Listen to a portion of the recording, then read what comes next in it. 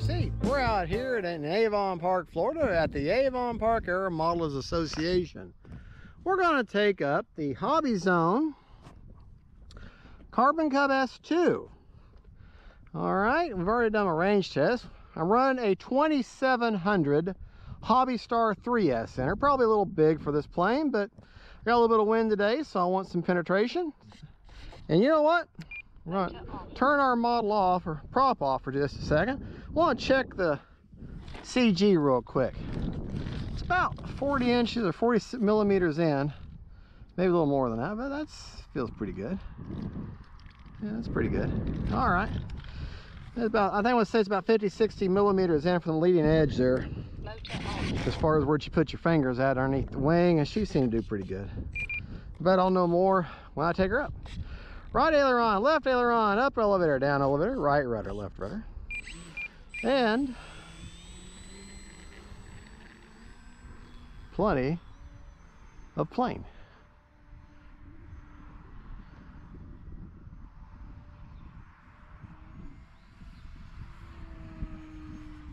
Good looking plane.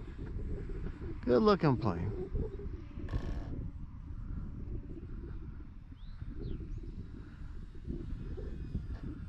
All right. See, if I was a tip stall right now, yeah.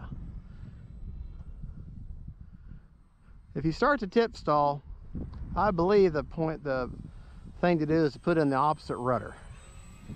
And uh, I'm just too chicken to try it. well, let's see. If I start going this way, yeah, that seems to pull out of it. See, in other words, Right now my left wing's dipping, right? So then I put up the right rudder. So if you start to tip stall, opposite direction of the wing that's going down for the, with your rudder. Right wing, left a, a rudder, okay? So left wing, right rudder. Kind of like what you're setting up for a uh, knife edge. There we go. This is another one of those planes that I'm just very, very comfortable with, even in weird wind. This wind today, is, it, it keeps changing from the southeast, from the southwest, from the south. It can't make up its mind.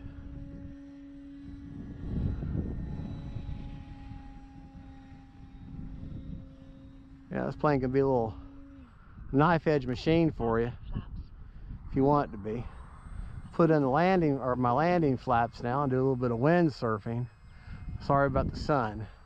And all i'm doing with windsurfing like that's what i like to call it. I'm putting her in the wind got them flaps all the way down and i'm just going to ride that wind.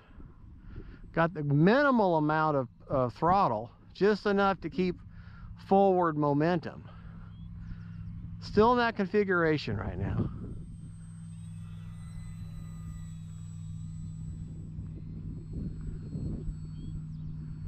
See, I'm just kind of riding the wind.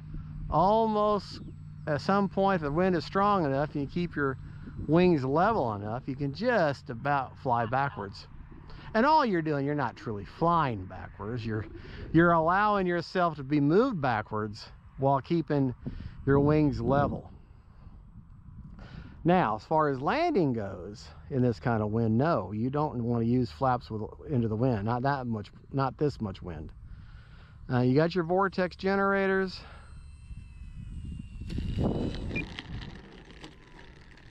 There we go.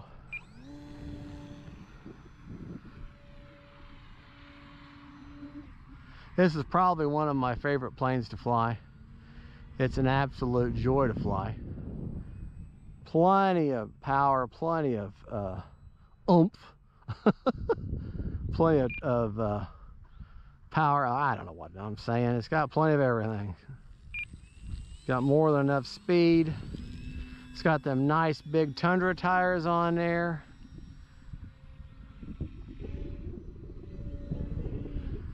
That was like I was kind of a slow, non-snap snap roll.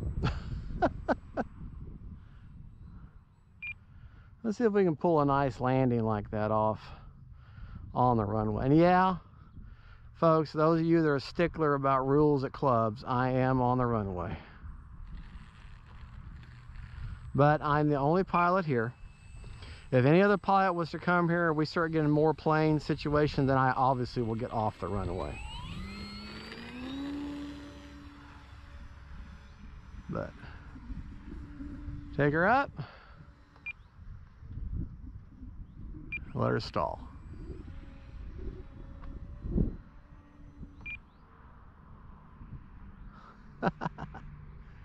oh, just a fun little plane. And with the sun hits that hits that silver and that yellow, um, as they say in the fashion world, it just pops. well, it almost sounded weird, didn't it? All right, let them vortex generators do their job. And what what a what a vortex generator. You can kind of see those ridges on the front of the wings. Those are angled slats. And what it does, it forces the wind to come in and, and, and creates kind of a lower, I guess, a higher pressure area on top of your wing, giving you a little more lift than what you would have otherwise. And uh, a little more and more lift means stay in the air longer. Gives you a little more stability at a lower speed. that wind is just kicking that tail around. Full speed. And that's a little bit better of a snap roll. Proof that you can do it.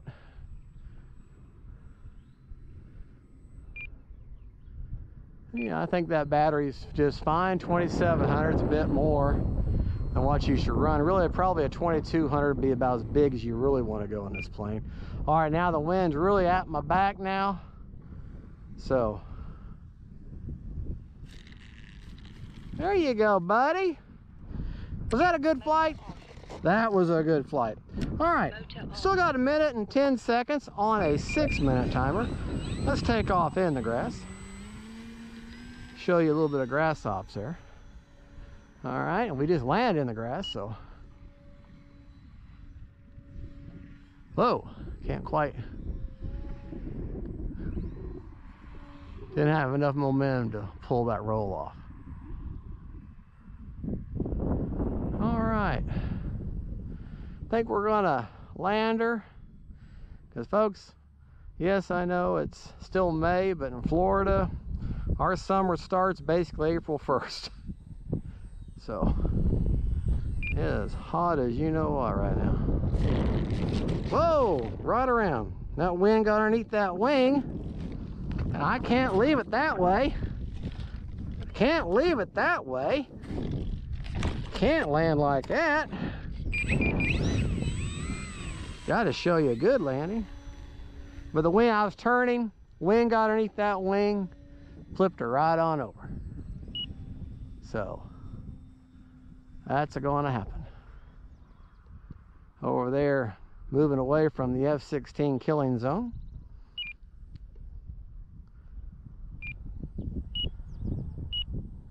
Yeah, I know. Timer's a, my timer going off. There we go. Time's expired. Time's expired. Prop motor off before we touch it. But I ran for a full six minutes and two seconds. Several landings and take a look, look, look at the wind. Pushes the plane back. All right, props off. Let's, or throttle cut is on, however way you want to look at it. And that's where I've got the 2700 pushed almost all the way forward. Let's take her out and after six minutes of flying this bad boy pretty hard, let's just see what kind of battery life I've got left. 66%, I could have gone for 12 minutes.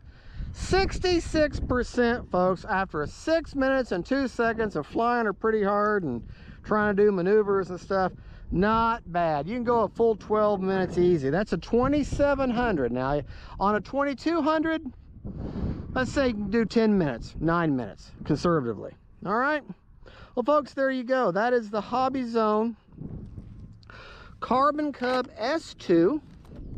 It is the bind and fly and uh, I recommend it. It's a great trainer. Um, a little more expensive than the Trekker, but uh, you get this in the ready to fly. I want to say it's 300, maybe a little more. When it comes with everything you need out of the box, this one's the bind and fly. Words, you've already got your own transmitter, and all you got to do is bind it. So, uh, great plane. This airframe has been around forever. This Carbon Cub SS actually exists in real life, the same color scheme. And here's a mod that I did. These wheel pants are famous for coming off on this plane. Same thing with the uh, Sport Cub S2, the old ParkZone, which is this is the same thing. These would pop off. Just run these little zip black zip ties through the openings and around the frame, and they're not coming off. That's just a real easy, cheap mod, and I don't charge extra for it. All right, folks, there you go. You can pick us up at Hobby Zone. I will put, yes, an affiliate link in the description for this plane, but y'all know I've had this plane a long time and I've been giving you links to where you can buy it long before I was an affiliate with Hobby Zone. So I'll put that in there to the bind and fly and to the ready to fly. And it's a great trainer. You saw I just had some fun with it and there's umpteen thousand videos on it by other people that say it's a great trainer. All right, folks, don't forget to like and subscribe. Thank you so much for watching. And don't forget, faith, family, friends, and then planes. Bye, y'all.